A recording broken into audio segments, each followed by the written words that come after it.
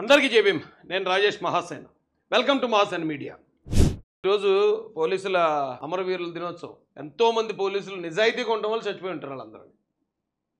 ఇది నిజమండి. ఒక పోలీసు అమరవీరుడు అయ్యాడంటే దానికి కారణం అతను నిజాయితీ పరుడు కాబట్టి. ఎవరైనా నిజాయితీ లేకుండా కాంప్రమైజ్ అయిపోయే వాళ్ళు అయితే చచ్చిపోయేదాకా వెళ్ళరు. ఎవడో చెప్తాడు ఓ పెద్ద నాయకుడు వస్తాడు లేదు వదిలే అంటాడు వదలనంటాడు ఈయన. ఆ కేసు పెడుతున్నావు ఆధారాలు నాకు అంటాడు ఇవ్వని అంటాడు. ఇవ్వకుండా నిజాయితీగా ఉండటం వల్ల మాత్రమే చనిపోతాడండి. నక్సలైట్ల దగ్గరికి వెళ్ళినప్పుడు కూడా నక్సలైట్లతో ఫేస్ టు ఫేస్ కలబడేవాళ్ళు తలపడేవాళ్ళు ఎవరైనా ఉన్నారో వాళ్ళే చచ్చిపోతారు. అలాంటి నిజాయితీ పరులు అందరికి. ఇంకా వాళ్ళ వాళ్ళకి మళ్ళీ మనం ప్రత్యేకంగా ఇవ్వక నిజాయితీ పరులు అంతే ఇంకా డ్యూటీలో ప్రాణాలు వదిలేసాడంటే నిజాయితీ పరుడు అంతే. రెండు వేల పద్నాలుగు నుంచి పంతొమ్మిది లోపు ఆంధ్ర పోలీసు ఇండియాలోనే టాప్ టూ నెంబర్ టూ పొజిషన్లో ఉండేది. జగన్మోహన్ రెడ్డి గారు వచ్చాక మొత్తం బ్రష్ పట్టించాడు ఆ వ్యవస్థను. మళ్ళీ ఆ స్థాయికి ఈసారి దేశంలోనే నెంబర్ వన్ స్థాయికి వెళ్ళాలి. ఆంధ్ర పోలీస్ అని హృదయపూర్వకంగా కోరుకున్నాను నేను.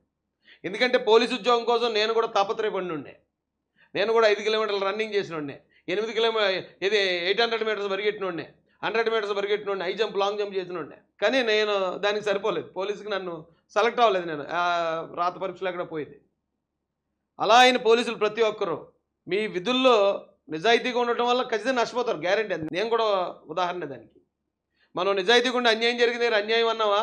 అన్యాయం చేసేవాడు ఎప్పుడు బలవంతుడు ఉంటాడు. అన్యాయానికి గురైనడు ఎప్పుడు బలహీనుడే ఉంటాడు. ఈ బలహీనుడు మనకి ఏ విధంగా సాయపడ్డు మన కష్టకాలంలో. సాయపడు లేడు కానీ బలవంతుడు మాత్రం ఖచ్చితంగా మనం దృష్టిలో పెట్టుకుంటాడు టైం వచ్చినప్పుడు కొట్టుపారేస్తాడు అయినా కూడా నిజాయితీ వైపే నిలబడాలి.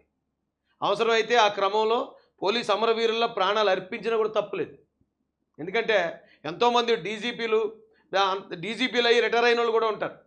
వాళ్ళు ఎవరికీ లేని పేరు గుర్తింపు అమరవీరులకు మాత్రమే ఉంటుంది.